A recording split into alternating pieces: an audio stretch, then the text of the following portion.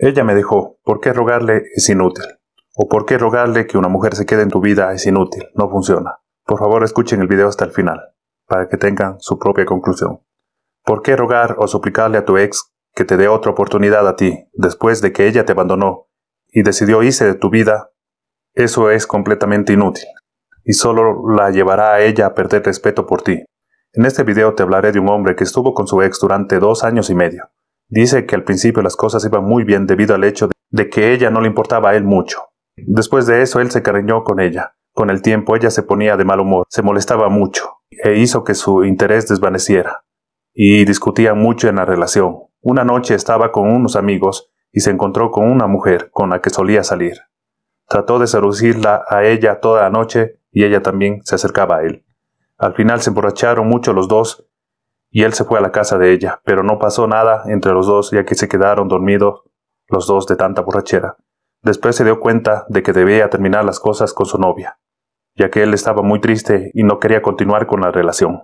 Cuando él rompió con ella, ella le suplicó a él que le dé otra oportunidad en su relación. Se sintió mal y decidió darle otra oportunidad a ella. Ella descubrió unos meses después que él casi la engañó, pero no pudo convencerla de que no pasó nada esa noche y que no se fuera de su vida. Unos meses después de que eso sucediera, ella lo dejó y se mudó para vivir en la casa con su madre. Él le suplicó hasta el punto de que ella lo bloqueó de su teléfono y de todas las redes sociales, ya que él andaba persiguiéndola a ella todo el tiempo. Ahora él dice que cree que está destinado a estar con esa mujer, y me pregunta a mí qué puede hacer para recuperarla. Él me dice, estuve con esta mujer durante dos años y medio. Al principio las cosas iban bien, porque creo que en ese entonces ella no me importaba mucho, pero luego me encariñé demasiado con ella, y todo se tornó mal con ella desde entonces. Empecé a encariñarme con ella demasiado y empezamos a tener muchos problemas. Yo le digo, parece que no te gustaba tanto ella, hasta que después que se fue de tu vida. Por lo general eso nos pasa a todo el mundo. No apreciamos lo que tenemos en nuestra vida. Cuando alguien se va, es cuando más queremos que esa persona esté en nuestra vida. Él me dice, íbamos muy bien hasta que ella comenzó a tener esos terribles cambios de humor, y me regañaba mucho a mí.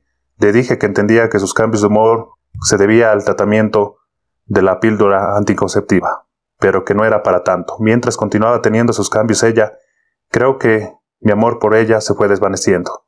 Pero a juzgar por las circunstancias en las que estábamos fue difícil para mí ponerle fin a la relación. Vivíamos y trabajábamos juntos. Los dos nos habíamos mudado a un lugar donde no nos conocía nadie aparte de algunos miembros de mi familia. Eso nos presionó aún más y comenzamos a separarnos el uno del otro. Empecé a coquetear con otra chica que conocí en el centro de la ciudad. Ella se enteró de eso y la afectó mucho y me sentí muy mal. Lo admití, fue una cosa de idiotas. Pero como dije, me sentí atrapado con ella, aunque quería que ella se fuera de mi vida. Pero luego la empecé a amar. Resolvimos las cosas o algo así. De hecho, salí con mis compañeras al lugar donde vivíamos la última noche. Una chica con la que estaba acostándome anteriormente estaba tratando de seducirme, coqueteándose conmigo esa noche. Seguí diciendo que no, pero obviamente terminé emborrachándome mucho y me fui a la casa con ella. No tuvimos relaciones sexuales porque estábamos demasiado borrachos y ella y yo nos dormimos. Me desperté al día siguiente y me sentí fatal. Aunque no pasó nada, regresé a la casa de mi mamá, llamé a mi novia y traté de terminar, pero no le dije lo que pasó. Le dije que necesitaba un tiempo para pensar las cosas.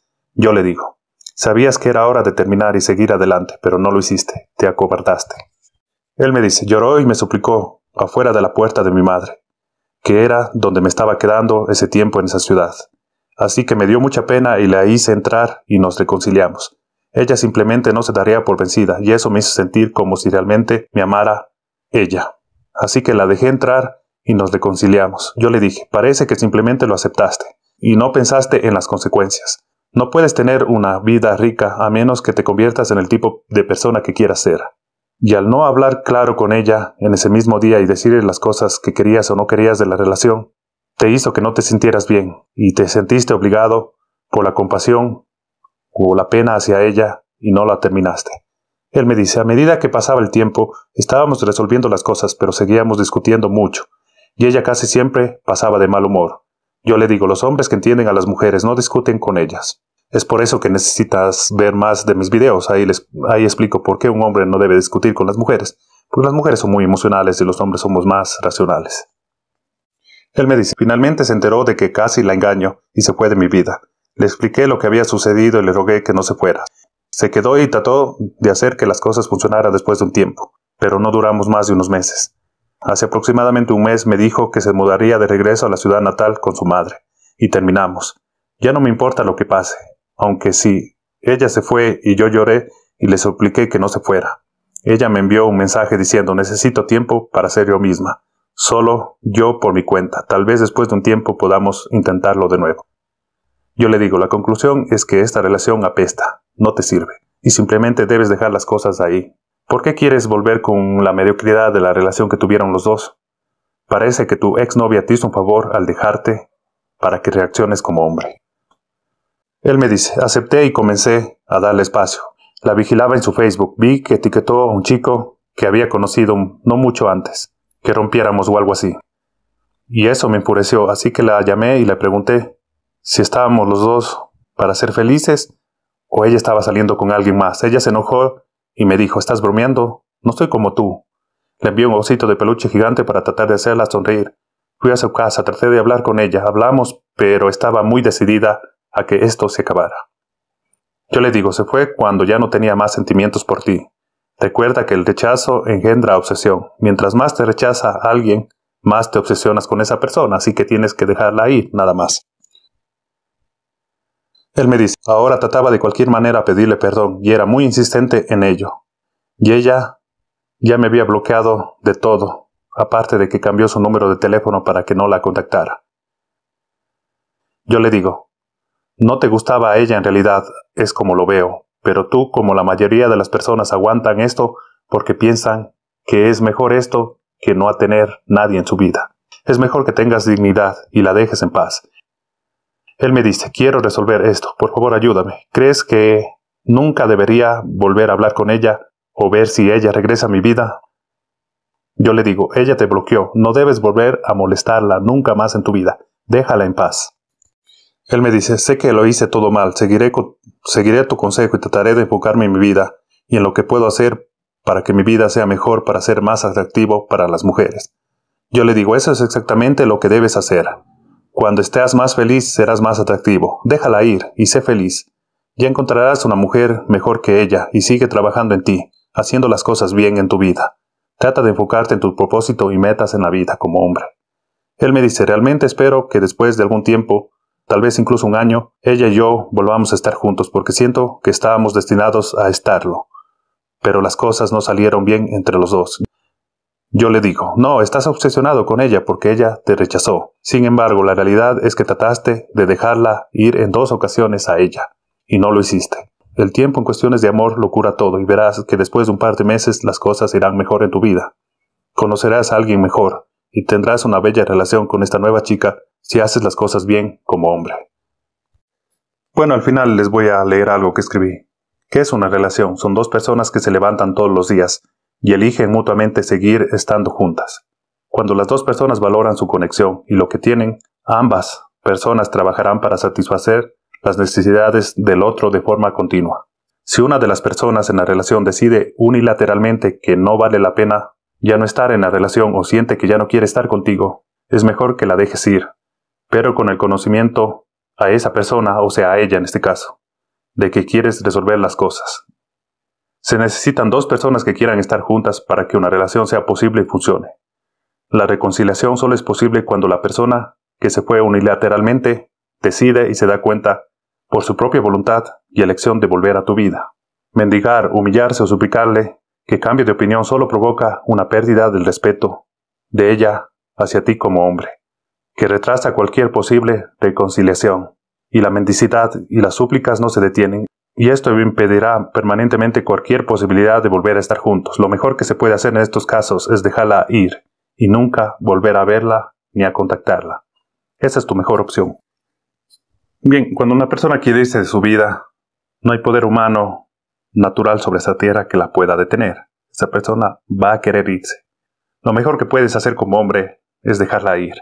Concentrarte en tu persona, mejorar las cosas en tu vida como hombre, proyectarte y enfocarte en tu proyecto de vida, lo que quieres lograr en tu vida como hombre.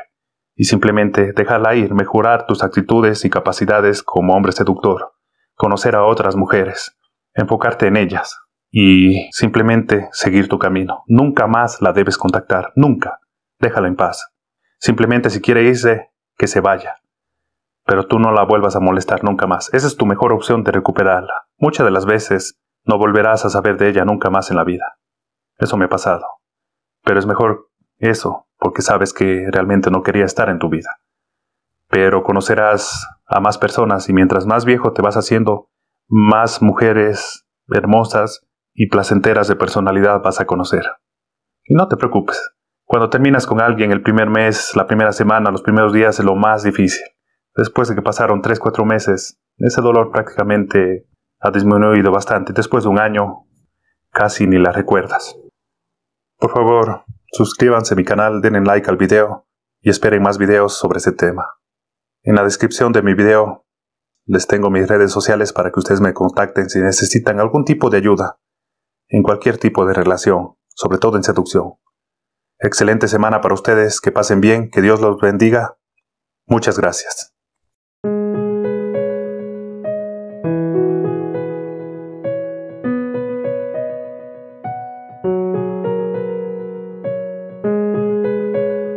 Hay una gran verdad entre hombres y mujeres.